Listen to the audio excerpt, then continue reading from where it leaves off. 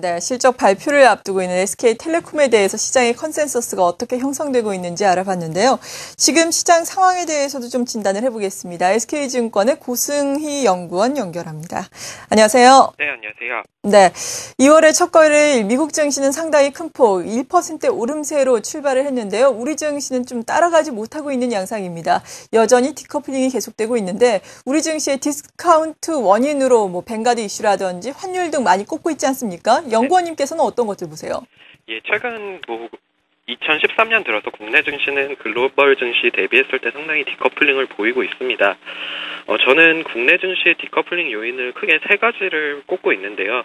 어, 첫 번째로는 기업 실적 둔화를 꼽을 수 있겠고요. 두 번째는 어, 말씀해 주신 것처럼 뱅가드 이슈 그리고 세 번째는 뭐 지금 한창 시장에서 반영이 되고 있는 북한 지정학적 리스크 이렇게 세 가지를 꼽고 있습니다.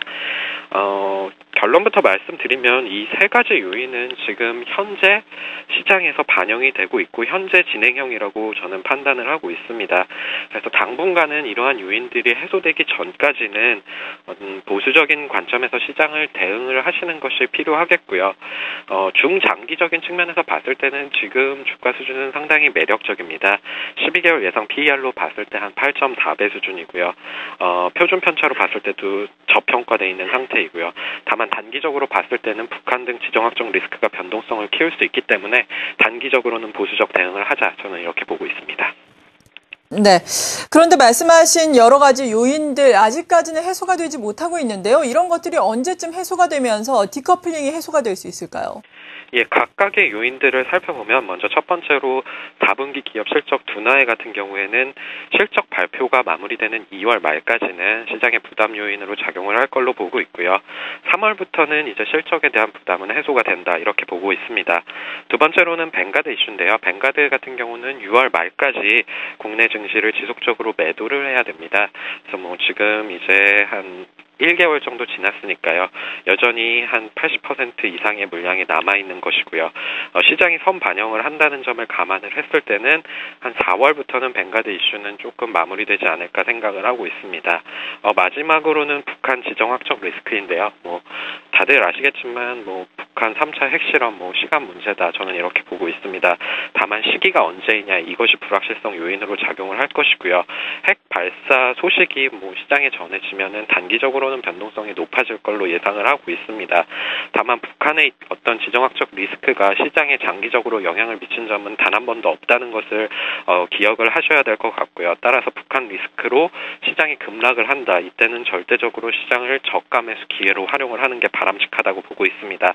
어, 결론적으로는 2월 증시는 앞서 말씀드린 디스카운트 요인 세 가지가 여전히 시장의 부담으로 작용을 할 것이고요. 어, 코스피 밴드 기준으로 봤을 때는 1900포인트에서 2050포인트 박스권 장세 이어질 거다 이렇게 보고 있습니다. 네.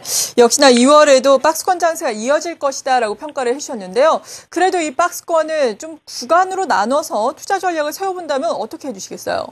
어, 뭐 2월 증시를 뭐 상고하저냐, 뭐 그렇게 보기는 어렵겠지만 개인적으로 봤을 때는 상저하고의 모습이 나타나지 않을까. 앞서 말씀드린 이 세 가지 요인은 시간이 필요한 문제이기 때문에 결과적으로는 시간이 지나면서 영향은 둔화되고 결론적으로는 이제 글로벌 증시와 같이 가는 모습을 그리지 않을까 이렇게 생각을 하고 있습니다. 어, 개인적으로는 코스피 지수가 글로벌 증시 대비 상대적 부진은 마무리되었다라고 생각을 하고 있고요.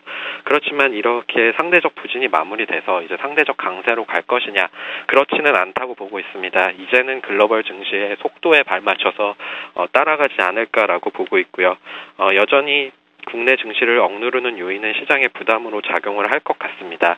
그래서 투자 전략을 살펴보시면 2월 증시는 앞서 말씀드린 대로 1900에서 2050포인트 박스권 장세 속에 1970포인트 이하에서는 뭐 IT라든지 건설, 증권 등 좀 베타가 높은 업종의 비중 확대를 하는 게 맞을 것 같고요.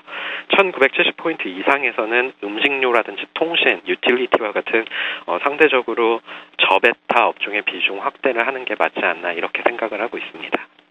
네, 잘 알겠습니다. 1970을 기준점으로 해서 투자 전략을 세워보자라고 말씀해 주셨습니다. SK증권의 고승희 연구원이었습니다. 고맙습니다. 네, 감사합니다.